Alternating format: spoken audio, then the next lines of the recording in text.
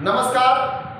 The world education research के electro homeopathic class में मैं आप सबका हार्दिक अभिनंदन, स्वागत करता हूँ।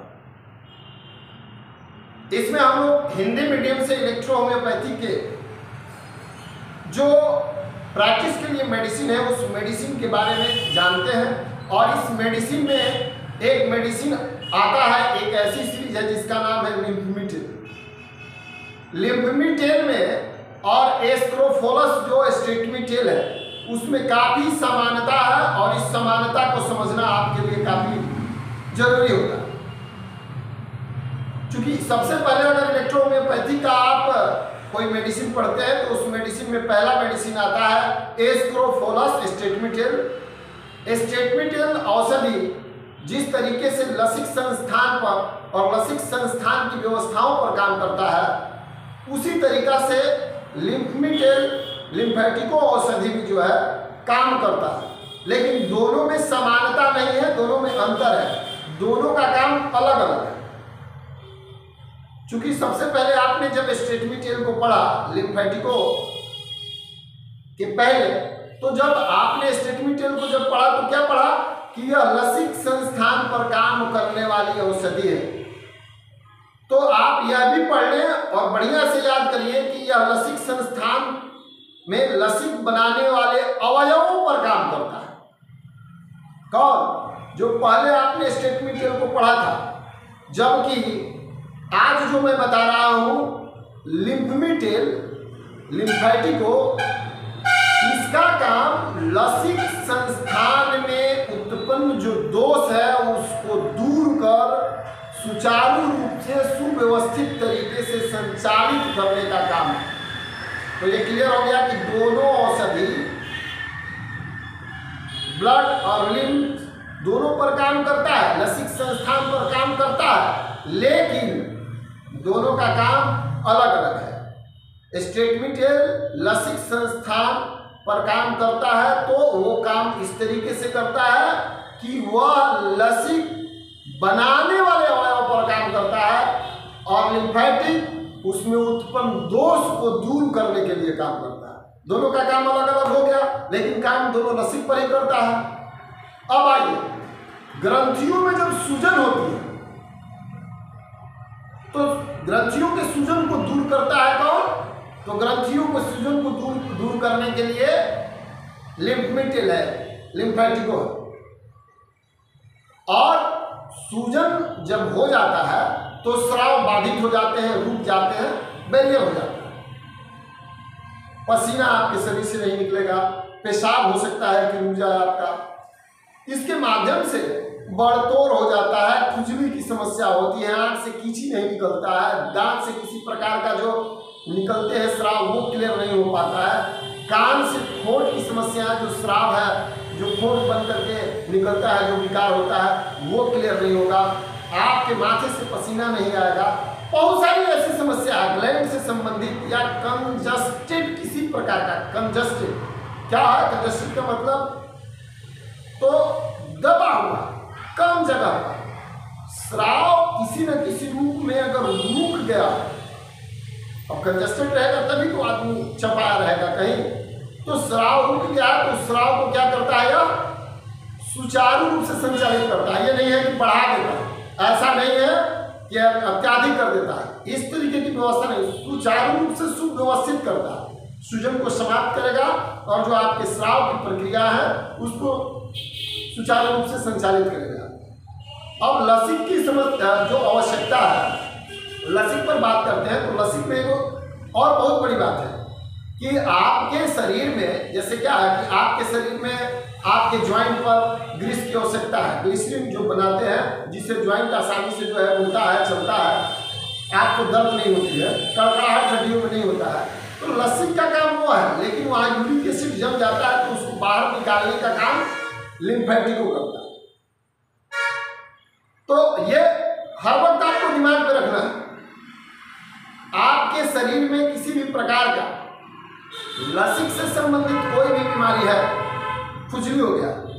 खुजली ऐसे नहीं होता।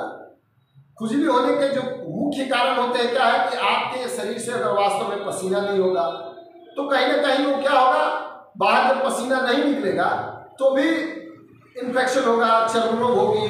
और खुजली जैसी समस्या होती है बड़तोड़ जैसा समस्या होता है, उस तरीके की बहुत सारी समस्याएँ उत्पन्न होती है। उसको ये दूर करता है लिम्फेट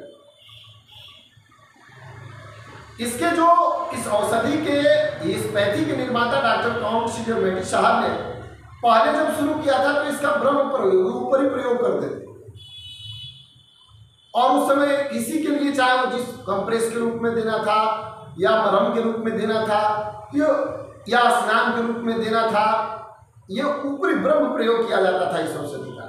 लेकिन बाद में क्या हुआ कि इस पर जब रिसर्च हुआ तो ये अंदर का, शरीर के भीतर की ऑर्गन्स है उस पर भी इसका विशेष प्रभाव देखा गया। और यह व्हाइट ब्लड जो डब्ल्यू है, उस डब्ल्यू को संतुलित करने का और उस पर प्रभाव इसका विशेष दिखा तो ब्रह्म प्रयोग के साथ आंतरिक प्रयोग भी शुरू हुआ। आपके शरीर में डब्ल्यू का बहुत बड़ा महत्व है। इसके बारे में भी थोड़ा सा हम लोग चर्चा कर रहे हैं फिजियोलॉजी जब हम लोग पढ़ते हैं तो उसमें क्या कहता है कि डब्ल्यू आपके शरीर में बिल्कुल सेना की तरह तैनात रहता है। किसी बाहरी विषाणु या किसी प्रकार की बाहरी आक्रमण को रोकने के लिए जो डब्ल्यू है, वो क्या करता है? काम करता है। उसे नष्ट करने का काम करता है। जीवाणु विषाणु को बाहर ही जो है, नष्ट कर देता है। आपके शरीर को रोग मुक्त रखता है। लेकिन ध्यान रहे, अगर यही श्वेत रक्त जिसको बोलते हैं, डब्ल्यू बी मैंने श्वेत रक्त। उजला। तो ये श्वेत रक्त अगर आपके शरीर में अधिक हो गया तो क्या करेगा? ये आपके शरीर में रोग का कारण भी बनेगा। तो क्या है कि ये डब्ल्यू को संतुलित करता है। अगर बड़ा है तो नॉर्मल कर देगा। घटा है तो भी नॉर्मल कर देगा। ये डब्ल्यू पर इसका विशेष प्रभाव है। आपको बता दें कि इसमें भिन्न भिन्न प्रकार की बीमारियाँ जो होती है आपके शरीर में, लसिक संस्थान से संबंधित लसिक, मैंने आपके रस में किसी प्रकार की दोष उत्पन्न हो जाती है आपके शरीर में तो उस दोष को दूर करने के लिए यह स्पेशल औषधि है। कहीं ब्लॉकेज है उसके माध्यम से मिर्गी आ जाता है। आपको कहीं लिकोरिया का प्रॉब्लम जो है, एनेमिया का बहुत सारी वैसी समस्याएँ हैं। उस समस्याओं को क्या करता है? ये दूर करता है। और एक क्या होता है कि अविराम जैसे या समय दे दे करके आने वाला ज्वर है, जो बुखार होता है, उसको भी दूर करता है। रूमेटिन की समस्या होती है। मैंने जैसे बताया कि ग्लिसरीन बनाने के लिए। तो रूमेटिन की समस्या क्या होती है कि आपके शरीर में यूरिक एसिड की मात्रा अधिक जम जाती है। तो यूरिक एसिड की मात्रा अगर बढ़ जाती है तो ज्वाइंट पेन होने लगते हैं। रूमेटिन जो है, बढ़ जाने के चलते आपको ज्वाइंट पेन होने लगते हैं। इन सभी समस्याओं को क्या करता है? ये दूर करने का क्षमता रखता है और दूर करता है। कौन दवा? तो लिम्फमिट इसलिए एस ग्रुप की जो दवा है, उसके साथ अगर सही तरीके से लिम्फेटिक लिम्फमिटेल की दवा का इस्तेमाल किया जाता है तो स्वाभाविक बात है कि अगर लसिक से संबंधित किसी प्रकार की समस्या से अगर परेशान है मरीज़ तो उसे ठीक किया जा सकता है। कुछ कुछ सिस्टम में, चूँकि एस्क्रोफोलस की कुछ कंपाउंड जो मेडिसिन मिक्स करके बनाई जाती है तो उस मेडिसिन की कुछ प्लांट्स इसमें भी डाले गए हैं, जिसके चलते इस मेडिसिन का सिंगल इस्तेमाल करने से बहुत ज़्यादा फ़ायदा होता है। अब होता क्या है कि अभी आधुनिक प्रैक्टिशनर लोग, या कुछ वैसे चिकित्सक लोग हैं, जो उनका रिसर्च होता होगा, जहाँ सिंगल रिमेडीज जहाँ सिंगल मेडिसिन एल वन काम कर रहा है, या एल सीरीज़ या पी सीरीज़ या ए सीरीज़ औषधि काम कर रही है, वहाँ चार चार मेडिसिन उसी में इंक्लूड करके और उसको चलाते हैं। खैर, अपनी अपनी प्रैक्टिस है, लेकिन लिप्मीटेल का अगर सिंगल औषधि भी आप प्रयोग करते हैं, और लसिक में किसी प्रकार की दोष है तो स्वाभाविक बात है कि एल सीरीज़ की जितनी भी मेडिसिन हम लोगों ने प्रैक्टिस में किया है और देखा है पुराना से पुराना तीस तीस, चालीस चालीस साल का। लिकोरिया को एल वन दे करके उसका जो रोग है, उस रोग के अनुसार दवा जो चलाने का जो सिस्टम है, किसमें हम दवा एम्प्टी में दे, किसमें डाइल्यूशन में दे, कौन लाइटर डाइल्यूशन इस्तेमाल किया जा सकता है या कौन सी पोटेंसी दिया जाए? यह चिकित्सक के सूझबूझ के ऊपर निर्भर करता है। और इसका काफ़ी लोगों को लाभ मिला है। और सब, बहुत सारे लोगों को हम लोगों ने ठीक किया। पौर्णव से संबंधित बहुत सारी समस्याएँ आती हैं। औरतों की मासिक धर्म की जो समस्या होती है, पेट में दर्द वगैरह पेंडू में दर्द वगैरह रहना, बहुत सारी वैसी समस्या है जिसको सी के साथ में एल का अगर प्रयोग किया गया है तो वो पूरे तरीके से ठीक हो गया और एक महीने के अंदर ठीक हो गया। जबकि उनको सर्जरी कराने की स्थिति थी। तो बहुत डिपेंड करता है कि आप डीपली कितना इलेक्ट्रो होम्योपैथिक मेडिसिन के बारे में और इस सिस्टम को जानते हैं। ये वैसी कोई भी मेडिसिन नहीं इस दुनिया में बनी है जिसके बारे में सिर्फ़ आप जान लिए कि फलाना है और फलाना रोग में दे दिया जाएगा। नहीं तो दवा दुकान चलाने वाले लोग ही डॉक्टर हो जाते हैं। डॉक्टरी की पढ़ाई करने की आवश्यकता नहीं थी। इसलिए रोगी की स्थिति, परिस्थिति, उसका प्राकृत देखकर और उसकी जो वर्तमान स्थितियाँ हैं उसको समझ करके और किस दवा को देना है इसका चयन करके, और तब किसी भी दवा को इस्तेमाल किया जाता है। इसीलिए सभी दवा पर लिखा होता है dose and directed by the physician जो लोग इस चीज़ को नहीं समझते हैं, वो मेडिकल दुकान से तो दवा ले ही लेते हैं।